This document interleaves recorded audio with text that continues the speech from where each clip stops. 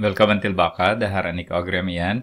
Ehm, jag ska gå igenom problemlösning med ekvationer av Holmström, matte 2 och matte 2b.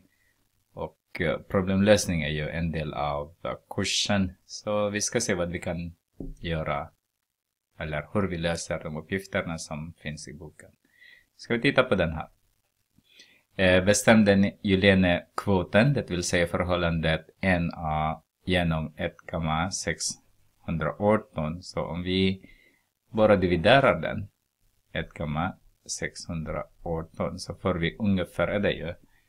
Eh, därför att eh, vi kommer inte få det exakta.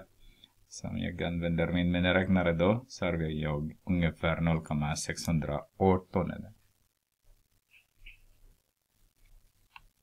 Så, då har vi bestämt redan.